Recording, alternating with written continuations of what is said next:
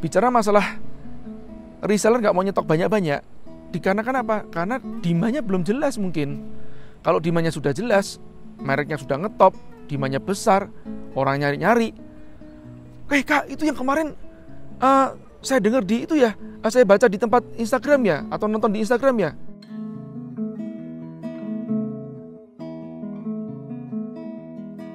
Dari Sheila, Kak izin bertanya, banyak yang mau jadi reseller saya, cuman saat ini saya masih kebingungan karena mereka nggak mau nyetok banyak-banyak. Harga kemahalan dan logo produk saya yang dilepas. Kira-kira bagaimana solusinya kak? Sheila ini produknya adalah cake. Nah jadi kalau kita ada suatu pertanyaan begini yang paling penting harus mengerti dulu produknya apa nih ya. Karena uh, treatmentnya pasti akan berbeda-beda. Baik ya, saya ringkas lagi ya dari pertanyaan Sela itu. Yang jelas Sela ini yang pertama adalah produsen, ya dan brand owner atau punya merek sebuah cake. Kemudian banyak yang mau jadi resellernya dia, tapi nggak mau nyetok banyak-banyak. Ini jadi masalah jadi bagi Sela sendiri.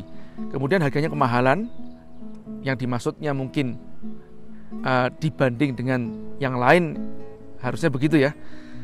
Kemudian yang ketiga logonya dilepas. Nah ini bagaimana solusinya? Buat saya nomor satu gini nih. Saya kan balik dari yang pertama dulu, yang akhir duluan. Logo dilepas itu artinya kemungkinan besar punya Sheila ini sendiri mereknya belum terkenal. Ya. Nah, jadi kalau mereknya belum terkenal, orang cenderung akan mau melepas logo. Kalau mereknya terkenal, malah justru logonya itu paling penting. Ya, ya artinya apa? Sheila ini kemungkinan besar tidak melakukan branding yang kuat terhadap suatu produknya. Entah apa diferensiasinya yang nggak kuat tentang produknya, ataukah uh, aktivitas brandingnya sendiri yang memang tidak kuat atau mungkin belum digenjot. Nah, itu jawaban yang pertama. Yang kedua, bicara masalah reseller nggak mau nyetok banyak-banyak, dikarenakan apa? Karena dimanya belum jelas mungkin kalau demandnya sudah jelas, mereknya sudah ngetop, demandnya besar, orang nyari-nyari. Eh kak, itu yang kemarin uh, saya dengar di itu ya, uh, saya baca di tempat Instagram ya, atau nonton di Instagram ya. Cake Anu misalkan begitu kan, cake Sela. Nah begitu. Ini demandnya begitu sudah besar, aku mau dong jadi apa, apa uh, resellernya dia kan berani nyetok banyak-banyak gitu kan karena demandnya besar jadi kembali lagi nanti aktivitas branding inilah yang akan menciptakan demand yang besar itu yang menciptakan reseller berduyun-duyun mau nyetok produk kita banyak-banyak kalau enggak ya jadi basi lah ya nah bicara masalah harga kemahalan atau kemurahan ini sebetulnya punya kita bisa dibandingkan nggak sama yang lain? Kalau selama punya kita produk kita bisa dibandingkan sama yang lain artinya diferensiasi kita nggak kuat. Nah, harusnya diferensiasinya kuat pasarnya tidak berdarah-darah, baru di situlah kita tidak akan dibandingkan atau ditawar sama orang lain atau target pasarnya yang keliru pembidikan target pasarnya ya maaf ya ini contohnya jangan mahasiswa banget gitu loh. Ya tapi mahasiswa sekarang kayak kaya. Ya nah intinya ya kalau kalau kita mau jual agak sedikit lebih mahal ya tentu aja harus diimbangi dengan kualitas produk dan diferensiasi yang kuat aktivitas brand atau branding yang kuat juga sehingga orang rela merogoh kocek lebih mahal.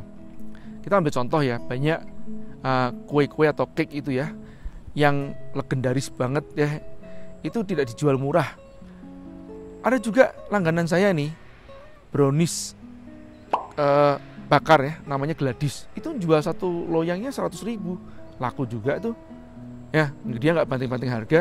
Bahkan setahu saya dia nggak pakai reseller. Kenapa? Ah sudah.